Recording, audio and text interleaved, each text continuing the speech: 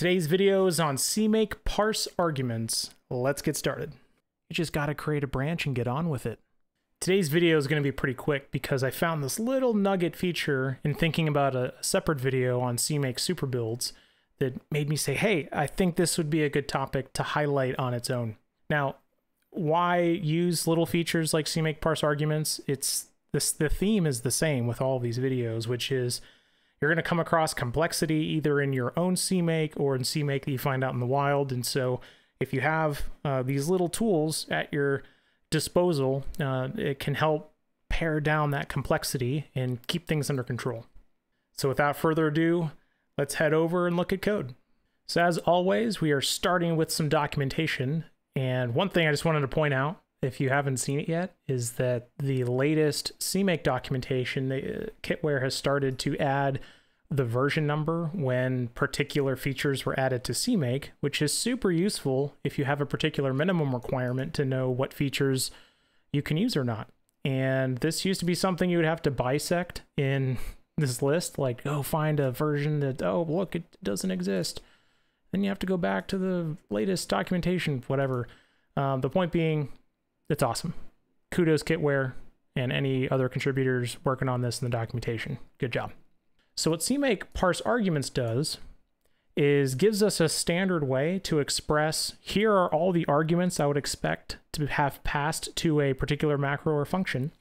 Uh, you can have a, uh, a collection of variables that come out of CMake parse arguments that get defined uh, based on the arguments that got parsed. And let's look at a quick example in the documentation, then we'll talk through the way I've used it in some of my super builds.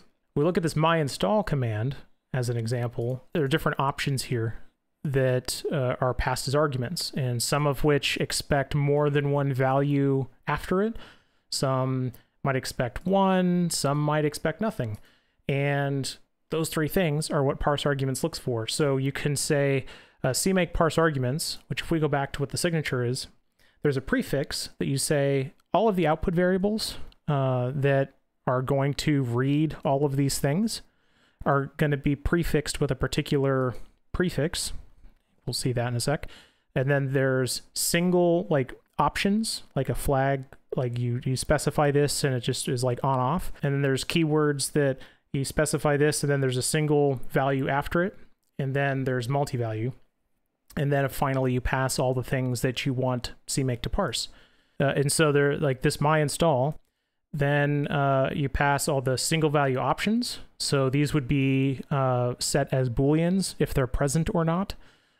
Then the one value arguments, uh, which ends up being these, and then multi-value arguments. So then if you take this, what do you get out? So if we look at the, the options uh, on this command, um, optional was passed. So the prefix underbar, then the name of the what you're parsing. If it's an option, so passed as this first collection of options, uh, this one was true because it was set. Um, fast, even though that was a valid value, was false because it was not present. And then like for the, the, the one value arguments, um, let's see, we have destination, so that would take bin. So yep, look, my install destination has been, etc. You can read the rest of it here. So let's head over and see a, a real world example that I ended up using this for. So what I have here is a super build that just builds OSPRay. Now, OSPRay is a project that has several dependencies, and so what I don't use this for development.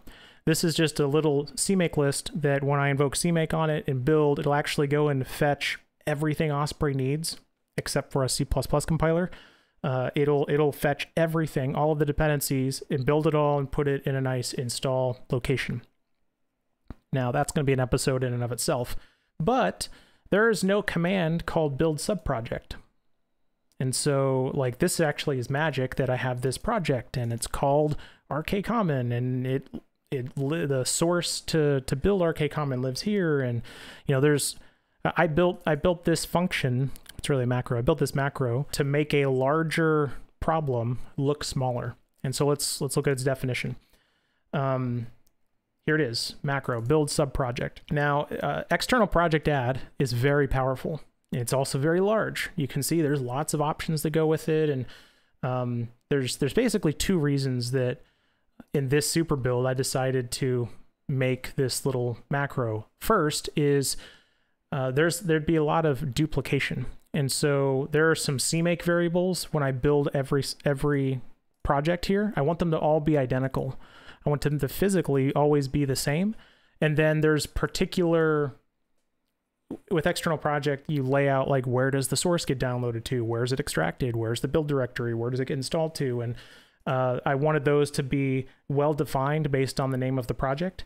And so one way to do that is to have um, this translation where I provide some information and then I construct the final invocation of external project add in a very repeatable way uh, by not copying and pasting and tweaking and accidentally having inconsistencies. So that's one. Second is this is actually easier to reason about. So instead of seeing a sea of lots of invocations of external project add, with this much smaller interface, uh, it's easier to reason about um, like the name of a project, where it's fetched, specific CMake variables for that project, and then which other uh, projects it depends on. Like that's it. This is a simpler interface, so it's easier to reason about. There's a lot of reasons to use functions and macros. That was the the one I had here. The thing here is this macro. Remember, if you go back and watch the video on functions and macros a few weeks back, there's there's a variable called ARGN that has that represents all of the list of arguments passed to this macro. So all of these things together is an ARGN. And we can use CMake parse arguments to deconstruct all of this stuff we passed here to deconstruct it into some variables to then pass on to external project add. So uh, hopefully it's actually straightforward to see. Um, you know, I have name and URL. So name, what's the project name, and what's the URL, like the where on GitHub to go fetch the source. Um, and then I have some multi-value arguments for like you can depend on more than one previous project and uh, the build args like that we want to add um, on top of the standard CMake args that invoke the underlying CMake on that project. Those are multi-value. And so here I have a prefix, build subproject, and I don't have any options uh, like those those true false flags. Uh, just got some one value args, some multi value args, and then obviously all the arguments to pass. So the details of this are outside of the scope of this video, but what comes out is pretty straightforward. I build subproject, I got my name. Uh, build subproject, uh, we got the URL, we've got the extra build args, we got what that project depends on. And so when you're build like this this actually fetches a bunch of projects and builds them all and does quite a lot of stuff. But when you have stuff like CMake parse arguments, uh, you can build little functions, little macros that make this not make this less complicated, make your life a little bit easier. Uh, and so that's what I wanted to show you is that this little tiny nugget is actually really, really useful. And if you ever find yourself like trying to parse arguments yourself, like to do what this does, but you are dividing out these option names and the lists and stuff behind it, just don't do it. It's just too complicated. Uh, I mean, sure, you can. Obviously, somebody implemented it here, but this is robust, tested, easy, just use it. It's it's so nice. And that's it for today, folks. That's CMake parse arguments for you. If you enjoyed today's video, please remember to like and subscribe. And down in the comments below, let me know what you want to hear about. I'd love to make sure this content's good for you. And as always, until next time, happy coding, everyone.